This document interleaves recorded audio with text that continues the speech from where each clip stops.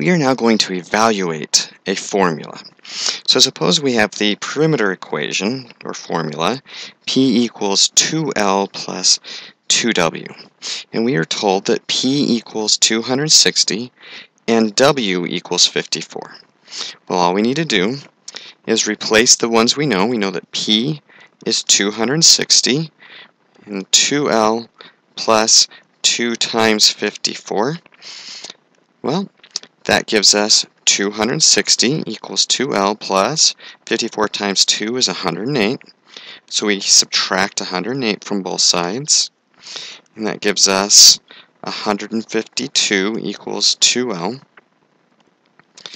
Well, divide by 2. And that gives us 76 equals L. So our L is 76. And we can quickly check this on a calculator. If we do 54 plus 54 plus 76 plus 76, we get 260. So we know that we did our problem right. Well, let's look at another one. Suppose we have the surface area of a cubic surface is equal to 2LW plus 2LH plus 2WH. And let's let S equal 6. Sorry, S is 160, L is 10, and W is 2.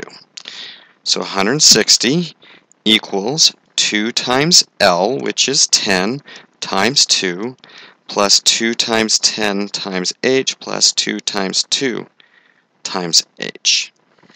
Well, let's multiply this out. We get 160 equals 2 times 10 is 20, times 2 is 40, plus 20H plus 4H. Well, let's combine like terms.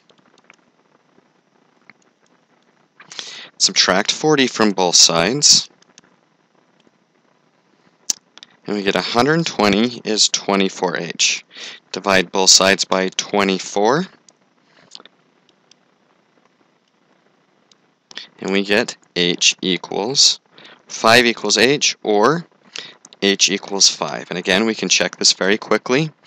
2 times 10 times 2 plus 2 times 10 times 5 plus 2 times 2 times 5 is 160. So our answer checked out.